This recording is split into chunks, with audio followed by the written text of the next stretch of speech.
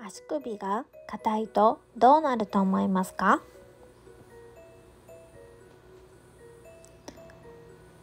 血行不良、冷えやむくみ、足裏の痛み、腰痛、股関節痛、膝の痛みにつながってしまいます。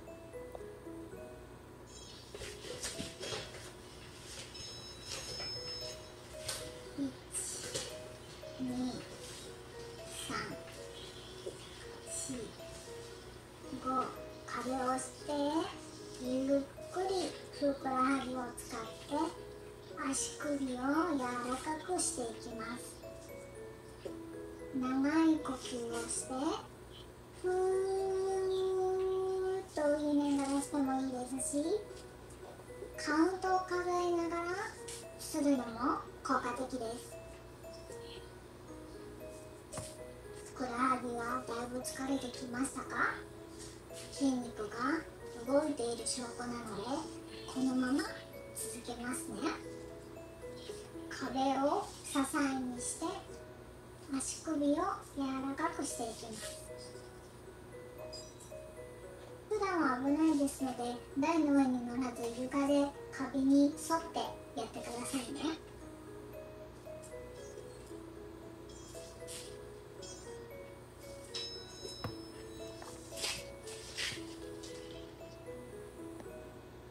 足首が動かしにくいと足首周りの筋肉皮腹筋ひらめ筋前脛骨筋などが張りやすくなりますしゃがみ込む時に片足がかかとにつかない方は足首のくぼみのところを親指で押さえながら曲げれるようにしましょう。もし難しいようでしたら、かかとを上げてつま先だけでも大丈夫です。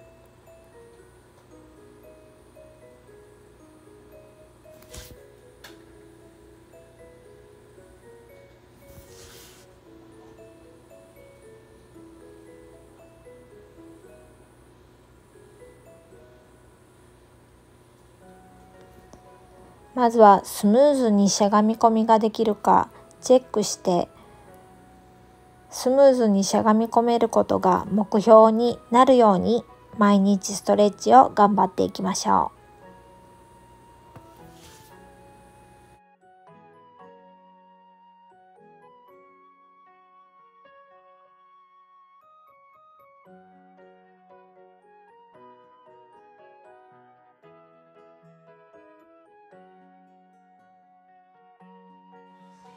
お尻を突き上げるようにしてふくらはぎを伸ばしてください。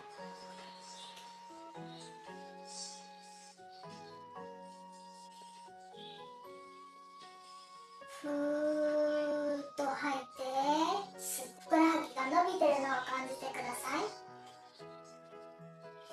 お尻を突き上げてくださいね。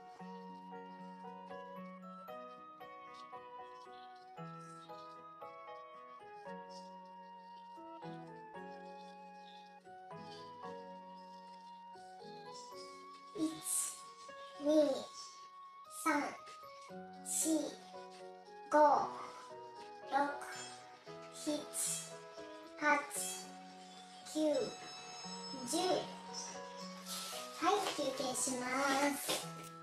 ふくらはぎがゆっくり伸びるのがわかりますか？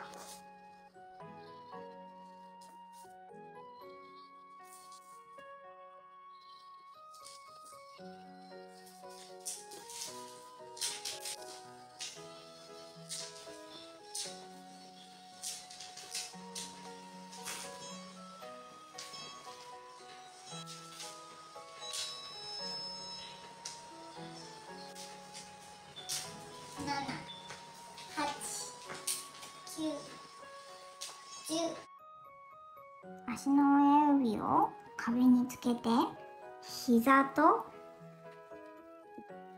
足の先を近づけてひっつけて戻す。ひっつけて戻す。ひっつけて戻す。ひっつけて戻す。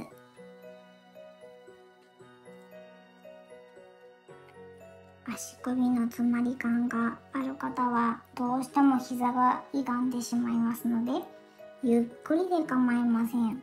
膝とつま先が一直線になるように10回まずやってみてください。